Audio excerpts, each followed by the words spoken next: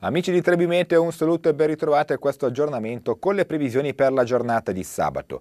Vediamo come in Europa la perturbazione che sta interessando l'Italia ancora insisterà su gran parte della penisola, seppur in graduale indebolimento, però vedete come nel vicino Atlantico siano attive altre perturbazioni che poi torneranno a interessare l'Italia nel corso della prossima settimana. Ma andiamo con ordine, vediamo la nuvolosità presente nella giornata di sabato ancora diffusa su tutte le regioni, specialmente al centro-sud, qualche schiarita in più sulla Valpadana, al nord-ovest, ma in un contesto ancora variabile.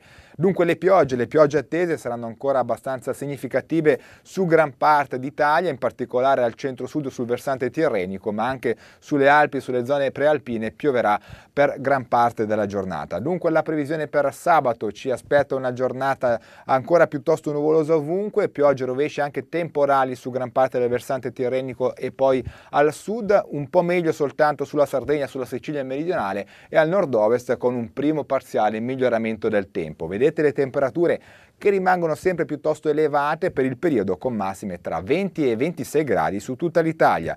Per il momento è tutto, maggiori dettagli sull'app gratuita di Trebi Meteo.